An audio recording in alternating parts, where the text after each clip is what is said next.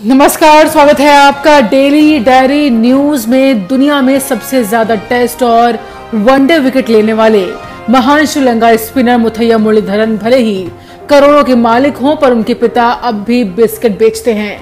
जी हाँ, मुरलीधरन के पिता सिन्नासामी एक छोटी सी फैक्ट्री चलाते हैं, जिसमें उन्होंने कुछ लोगों को काम पर रखा है। वो वहाँ बिस्किट बनाकर श्रीलंका के कई इलाकों में बेचते हैं। अपने एक इंटरव्यू में सिन्हा स्वामी ने कहा कि बिस्किट की मार्केटिंग के लिए बेटे मुरलीधर के नाम का इस्तेमाल वो नहीं करते, ऐसा करके बिज़नेस को वो दोगुना कर सकते हैं, लेकिन वो ऐसा नहीं करते। इसके पीछे का कारण बताते हुए सिन्हा स्वामी ने कहा कि मैं अपने बेटे का नाम इस्तेमाल नहीं करना चाहता।